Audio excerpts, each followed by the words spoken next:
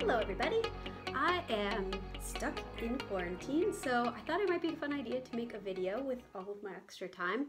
Um, this past summer, my partner and I traveled throughout Europe for the second time for six weeks.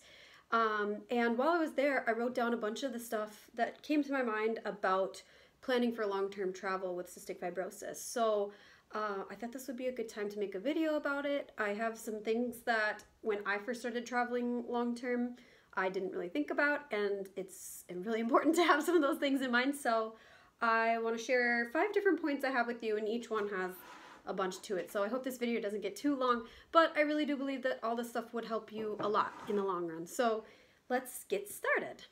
Okay, so point number one is all about mobilizing your treatments. So CFers all have different treatments that we do to keep up with our health every day. Um, the majority of us have some sort of nebulizer treatment, some sort of like shaking vest treatment to clear our lungs, and then all sorts of different um, medications and things that we take. And things change with if you have CF related diabetes or other things that could be added in there. But regardless of what you have going on every day, it's still important to find ways to mobilize them while you're traveling. So, a big uh, obvious one is to get a a travel nebulizer, a portable one that's a lot smaller than the typical nebulizers that we use every day at home. Um, I purchased the PARI Trek S, looks like this, and then it is this small, which is like pretty tiny. I have small hands, so. And then um, it also, you can purchase the um, battery with it, so it has could actually be cordless um, when, when you have this battery charged up. So even with that, it's pretty small. It's really lightweight. It's probably like, I think like a little over a pound. Um, and I really liked this. This came in clutch this year because when we had traveled previously, I brought like the big one with me. Um, and that was just a really big pain in the butt. Um, so that's for nebulizers. And then for, in terms of like vest treatments, um, I do have an Afflo vest, which is similar to a Monarch. Both of those are kind of portable vest systems where you don't need the tubes and the huge like 40 pound machine that most of us use on a daily basis. Um, so I have the, the Afflo vest, but I personally don't choose to bring that with me traveling. Um, and that's just a personal preference. I choose to find other ways to use my lungs um, rather than lugging that around with me because we backpack and that would be incredibly difficult for me to carry that along. So I usually bring with me the Aerobica. It looks like this and it kind of just, um, uh, it's a way that it like stops your breath and works your lungs in that direction. It sounds like this. So if you're doing that uh, while you're doing your neb treatments or after or before or a combination of those things, it really helps get some stuff up. And then um, also there's the benefit of exercise. So you can come up with some sort of plan where you're going to like run every day or do different workouts that you know really help uh, keep your lungs clear. Um, so it's again personal preference, but finding ways to make it work for you and your body and what you know you can tolerate and for how long. Um, that's really important.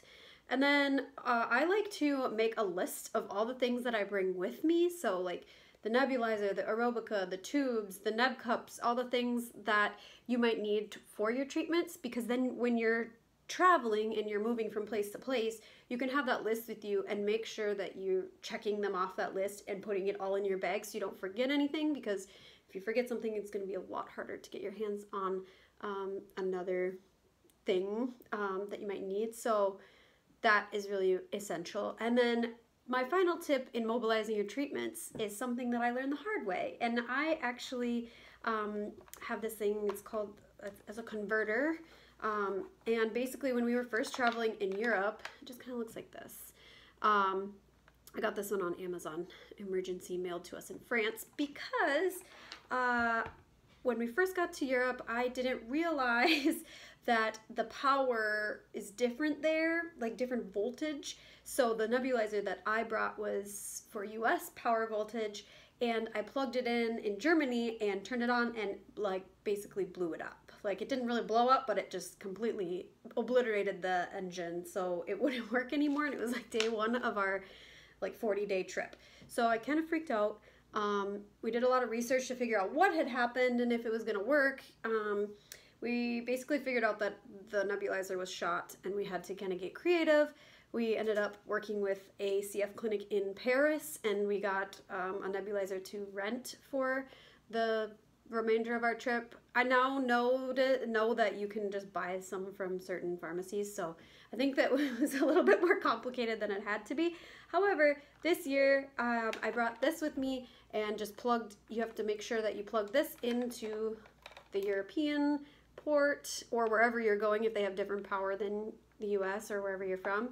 Um, and then you plug in your devices into here make sure that it's turned on. And then it, you can use like even if you wanted to like a curling iron or a hair dryer stuff like that that would usually blow up with the different power. So that is a big tip that I wish I would have known previously and I hope that'll help you okay so tip number two is all about documentation um, so when you have an illness of any sort or you take different medications, it's really important when you're traveling to have that all figured out before you head out. So um, there are a few different things that I encourage, and not all of them are necessary, but it does give you some peace of mind. Um, for example, I like to tell my CF clinic, my specialty doctor, that I'll be traveling so that they can write me a formal like doctor's note saying the dates that I'm traveling, where I'm going, and listing all of the medication that I take and all of the you know equipment that I will have with me. That way, if you're ever stopped in the airport or in any other travel situation and they're questioning why you have a nebulizer or medication or anything, that you can have that documentation. On that same note, it's really important to have the name, address, and phone number and other contact info for your CF doctor or your doctor for whatever um, illness you're traveling with. Um, that way, if someone's asking questions, you can have them easily contact the doctor for confirmation. Um, and each of those things are super easy to have with you. It's just a piece of paper, so it doesn't add anything to your travel pack or anything like that. Um, secondly, uh, is traveling with prescriptions. So when I first started traveling, even within the US, I was always really nervous about traveling with all of my medication because it would be like a big bag of like liquid medication and enzymes and all sorts of different things that you'd think that the TSA would not be super pleased about. Luckily, I've never had any issue with it. Um, they've always been super understanding and they've never like made me pull aside, pull me aside or make me explain in any way. Um, however, it definitely could happen, especially depending on where you're traveling to. I know that many countries in Asia are a little bit more strict about when, what medications coming in and out of the country. Um, in Europe, I've had no issues. But what I like to do is make sure that I have um, basically a prescription documentation for each thing that I'm taking. So, for example, I'm not going to show this up close, but I um, just kind of cut out the boxes for. So this is for like Pulmozyme. It just has my name um, and it has like the amounts of medication and, and how much I should take per day. And it's just good documentation of why I have all the liquids and um, all of the things that could be questioned in different situations. So I definitely suggest like cutting these out so you don't have to bring the whole box with you. You don't have to even bring the whole bottle with you sometimes. I will like keep these documentate this documentation and also just the RX information so that I can consolidate things and not take so many bottles. Um, I know that's kind of frowned upon, so be careful with that depending on where you're going. Um, but it really helps if you're backpacking to not have like half your backpack full of medication bottles. okay, and then my last tip here in the documentation is to spend a little bit of time before you go um, looking into CF providers or providers for whatever illness you see a specialty doctor for um, in the area that you're traveling to. So this is definitely not needed, um, but it does give a little bit of peace of mind if you have some sort of issue or you run out of a medication or like me, you have a nebulizer malfunction. That way you can have someone closer in proximity to you to contact about that for advice or for help or um, for something like that, just in an emergency. It's kind of nice to know uh, where your nearest CF specialty doctor would be. Okay, so step three is all about prescription medications. Um, when you're traveling long term, you kind of realize how much medication you take a day because you have to fit it all in a bag with you. Um, but there's a couple things that I have in mind and I've done over my experiences that have helped me feel like I've got it under control or, and that everything's going to be okay as you travel with all of that stuff. So, the first thing is kind of what I was just saying is pack smart. So, again, you don't really need to keep everything in the exact amount of bottles that they come in. So, for example, these are my enzyme bottles, and usually when you get it from the pharmacy, it's only filled to like here. I will like open them up and distribute other bottles so that they're like filled to the brim so I don't have to take as many of them. Um, sometimes too, as I go, I will get rid of the bottles altogether and stick them into a plastic bag or something if they're taking up too much space or getting too heavy. Um, so be creative with that, and but remain smart because you definitely do want to have that documentation of what that medication is in case you come to one of those circumstances. Um, in terms of getting that that much medication, it can be kind of challenging sometimes. I tend to have a habit of ordering meds as soon as it's available. Usually it's around like the three week mark after you just ordered. So your pharmacy will allow you to get more. So if you do that over time, then you kind of build up an extra supply and you'll have enough for your trip. If that's not the case, um, there's something I didn't know until my second trip was that um, insurance companies and pharmacies will often grant you a vacation override. So that is in the case where you're taking a vacation and you don't have enough medication on hand to pack with you. They will override that whole thing of can only being able to order once a month or whatever. Um, so that way, if you if you request that, usually they'll offer one or two of those per year, um, and that means that you can like waive that limitation, and they'll give you like two months worth at a time.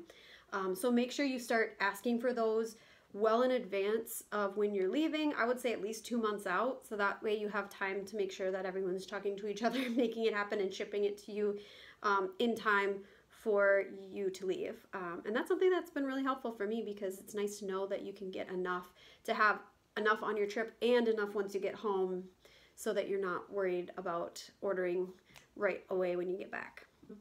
Another thing that I, I think is really important is to over prepare just a little bit um, you know, when you're traveling, things can happen and you can like lose some of the medication you brought with you or damage some or something happens where you forget some before you leave a location. So always bring a little bit extra, um, a little bit longer than you're actually traveling. So we we travel for around six weeks and I usually bring at least seven weeks of medication with just in case.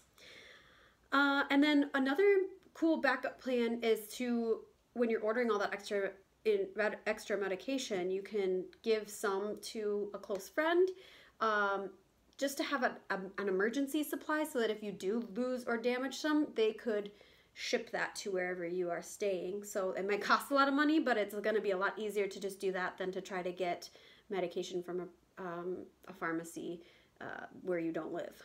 Uh, and then another emergency plan is um, to just have a little bit of extra money set aside in an emergency medical fund just in case something crazy happens while you're traveling or you do need to work on ordering medication where you're staying and it can cost a little bit more without insurance or if insurance really is really complicated. So just having a little extra cushion really does help feel help you feel better while you're away. Okay and my fourth tip is to keep a routine so I know when it, we are traveling, it's really hard to keep a routine because you're going to different places, staying in different places, seeing so many things. But I found that in terms of getting all of my medication and treatments and everything done and, and staying healthy, it's really important to just have even just a morning routine where you wake up every day and you do something similar so that you can make sure to get all of that stuff done. Specifically with treatments, with um, daily medications, it's easy to forget that when you're kind of all over the place and excited about what you're doing. So, having a morning routine where you wake up and do treatments and take your medication with breakfast right away is really helpful because then you just have that peace of mind that you know you're getting it done and that you're prioritizing your health because you wouldn't be able to do the travel you're doing if you can't prioritize that first. So, that's really important and it's not always easy, but it does some trial and error can help find something that works best for you and where you're located and what you're doing and everything like that. Okay, and my fifth tip is to have a basic itinerary or plan for where you're going.